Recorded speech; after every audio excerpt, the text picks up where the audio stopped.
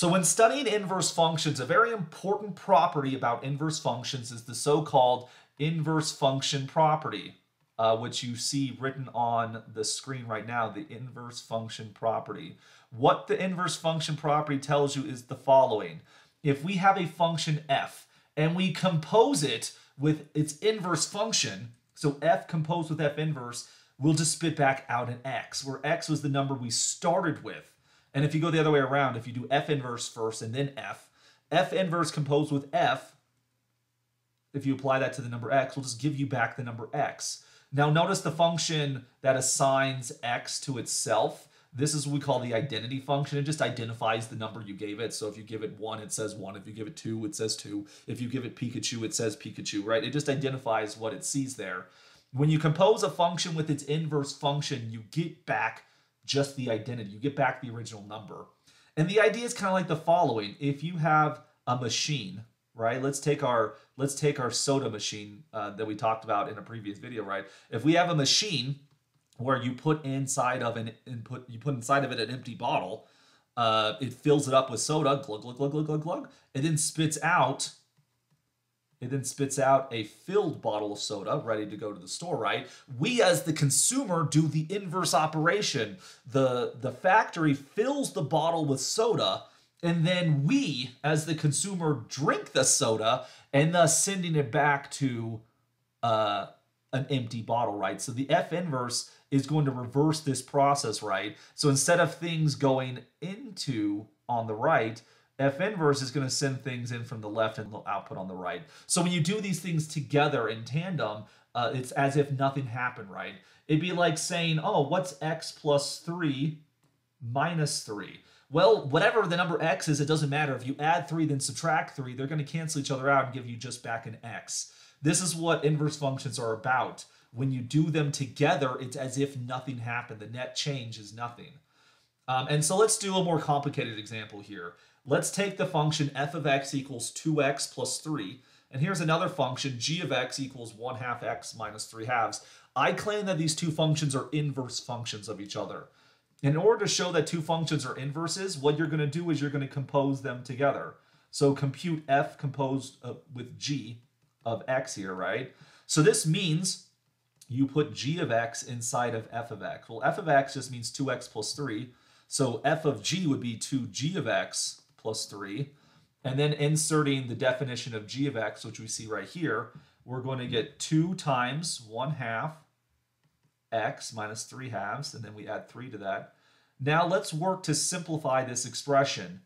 Uh, to begin with, we can distribute the 2, uh, which is pretty nice because all the 1 halves that are in play there.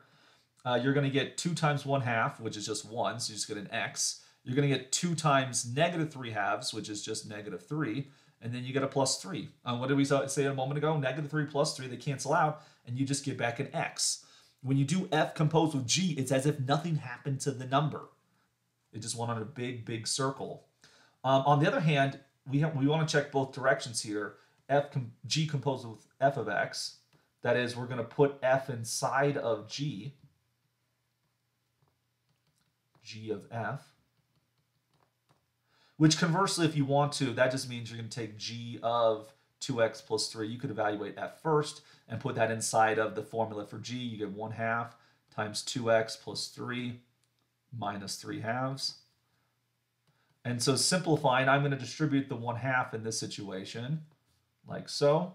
Uh, that would give us a, well, 1 half times 2, like we saw before, is just a 1, so you just get an x. You get 1 half times 3, which is 3 halves and then you're going to subtract 3 halves, which those are going to cancel out, and you're left again with just an x. And so you can see in this situation that no matter which order you compose them, f of g or g of f, in both situations you get x just back. So the number x is unaffected. This tells us that g is in fact equal to the inverse function. Um, conveniently, this also tells us that f is equal to g inverse, right? Uh, so if a function is an inverse of another, then you know they're, they're inverses of each other, right? F is G in, is G's inverse and G is F's inverse. And one can verify that a function is an inverse of another by this function composition. Uh, let's take another, let's look at another example, uh, a little bit more involved this time. We have some rational functions in play here. Uh, so we have the function f of x, which equals 1 over x minus 1, and g of x, which equals 1 over x, and then add 1 to that. To verify that these are inverse functions, compose the two functions together. So f composed with g, evaluated at x. So this means f of g of x. And so g of x is going to be 1 over x plus 1. Insert that inside of the function f of x. You get 1 over, replace that x with the 1 over x plus 1, and then minus 1. Now we're going to try to simplify this thing. In the denominator, you have 1 minus 1. These cancel. That'll leave you with 1 over 1 minus, or 1 divided by x. And whenever you divide by a fraction, you're just going to multiply by the reciprocal.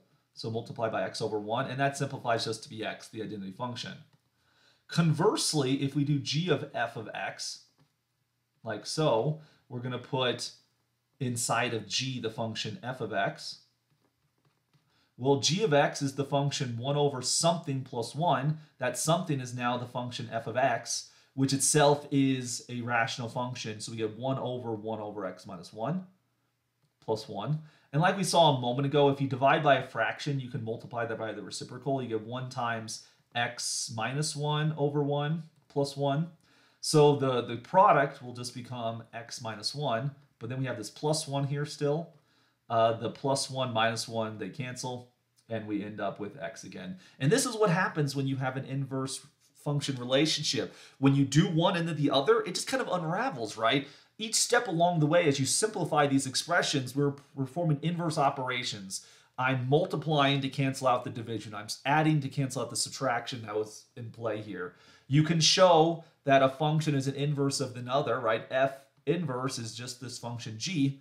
You can show that two functions are in fact inverses of each other by composing them and if this gives you back x in both directions, the inverse function property tells us that these are inverse functions. Now you'll notice in this example, uh, we were checking if two functions were inverses. This didn't actually show us how to compute whether, you know, how to compute. Like what if I give you f, what is the inverse of f? How do you how do you how do you pull that out of the air, right? We'll talk about that in a later video. At the moment, I just want you to understand how one can verify uh, two functions are inverses, uh, thus uh, demonstrating us the inverse function property.